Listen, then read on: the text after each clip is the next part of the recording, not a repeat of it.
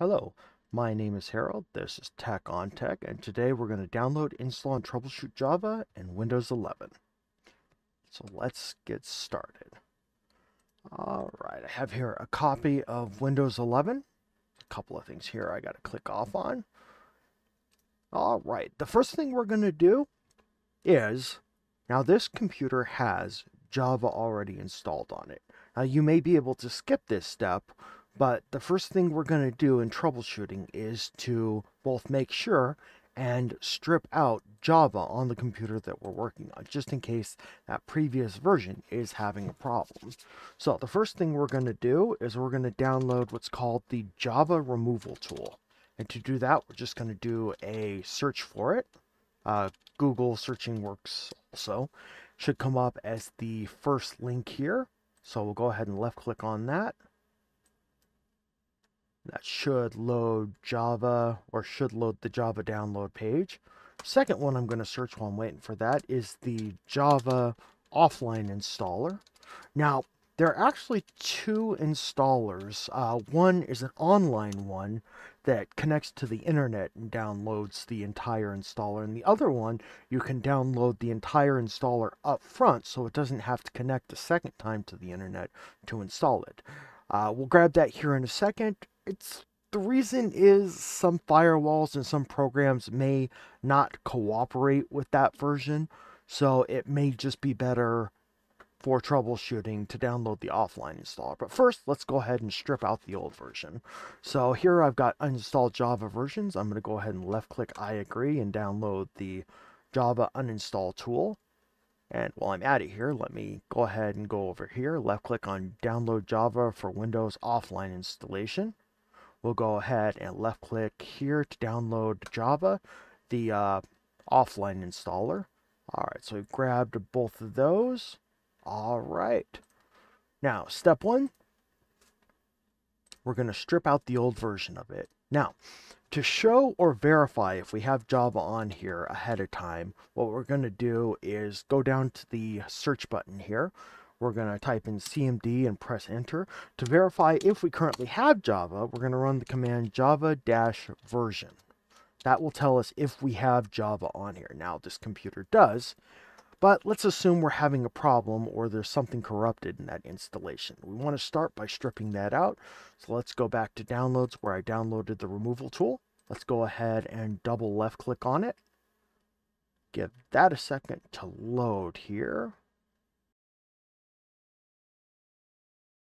All right, momentary loss of internet connection is fixed. So let's go back.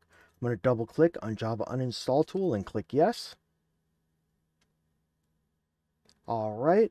Now, found out something interesting just a couple of seconds ago, and that is that this tool will not run unless you have an internet connection. So make sure you are connected to the internet and continue to be connected to the internet while you run this tool. All right, I'm going to go ahead and click I agree. That is the version that I currently have installed and check mark. So I'm going to click next. And then I'm going to go ahead and click yes to main, let's see, it says maintain the cache of reloading commonly used Java and store log files. Actually, on this, I'm going to go ahead and click no and let it completely, utterly remove everything. And that's it. Should be completely uninstalled. Should be able to verify that by going over here and running the Java version command. Yep, Java is no longer installed. All right. Now that we've got Java completely, utterly stripped out and verified that it's no longer on the computer, we're going to take a quick second. You want to disable all antivirus and anti-spyware programs. You can usually achieve this by going to the bottom right-hand side of the screen, left-clicking this little up arrow here, finding your antivirus program, and then right-clicking on it. Now, Windows Defender and Windows Security, you do not have to do anything with. You can leave this activated. But if you have something like McAfee or Norton or Kaspersky or any of those antivirus programs, what you're going to want to do is you're going to want to right click on it and look for something that says disable, quit, uh, game mode, or put to sleep for 15 minutes or something like that. You basically want to disable or turn off the antivirus program and anti-spyware program in order to install Java. So make sure you go over here, right click on it, disable your current antivirus software and anti-spyware stuff, and then just leave that where it is. Noted, um, shouldn't normally do that, but we are getting this from Java. It is a reputable company. Uh, do not have to worry about anything getting on. Uh, and you should absolutely make sure it is re-enabled when you're done with this process.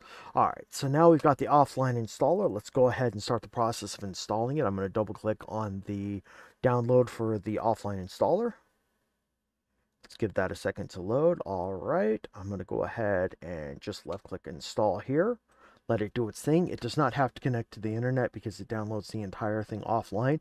This is also admittedly faster. And what I found out earlier was, is I will have to close this to verify it here in a second. But all right, we've successfully installed Java. Perfect. That is exactly what we wanted to see.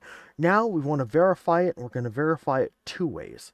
The first way is to go back and go into the CMD or command window. So I want to load that. So let's load that there. We'll do a java-version command. Looks good. Came up as successfully installed. And let's also grab another file. Uh, one Something we've been doing on this channel and trying to maintain is Optifine instructions. So we'll go to downloads here, we'll go to mirror here, we'll go to download here, left click on that, download that jar file. Uh, noted we don't have Minecraft on here, so we're not going to install it and use it. But what we are going to do is right click on it, because this does use Java in order to functionally open the file. We're going to show more options. Right click again here. We'll do open with, and we're going to left click Java Platform SE binary. Now, the fact that it opens this installer tells me that it is indeed working. So, step one, strip out any version of Java that you have previously on there. Uh, step two, make sure you've disabled antivirus, anti-spyware programs.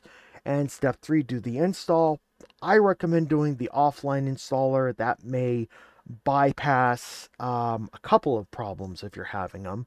And then, of course, double back, uh, make sure it's on there, and make sure it's stable. Now, I note that there are more advanced troubleshooting steps out there. Uh, I will try to post some of that in the description field below, but for the basics, this should cover most of what you need to know to install and get Java working. I hope this also helps some of you who are having some problems installing Optifine. I know that Java especially has been a root problem and something that I've been getting a lot of comments on. So I hope this helps some of you. I do note that that is it for this video. Uh, if you have any questions or anything like that, throw it in the comments below. I absolutely do try to get to everybody's comments. Otherwise, guys, have a great rest of the day. You.